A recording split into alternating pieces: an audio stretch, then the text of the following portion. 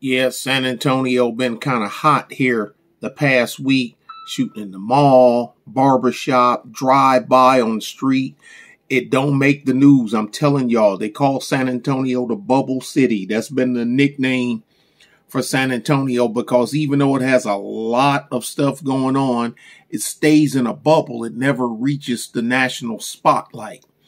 But I'm, but they trying to figure out they got to, like, we got to do something. And yeah, San Antonio is ran by liberals. Uh, they even done the painted the down uh, crosswalks in downtown San Antonio the rainbow uh, deals. They got a, a, rainbow club been downtown for the longest. I don't know the name of it. I've heard it, but I can't remember the name of it. Uh, got a strange name. But anyway, yeah, Bubble City do what Bubble City do.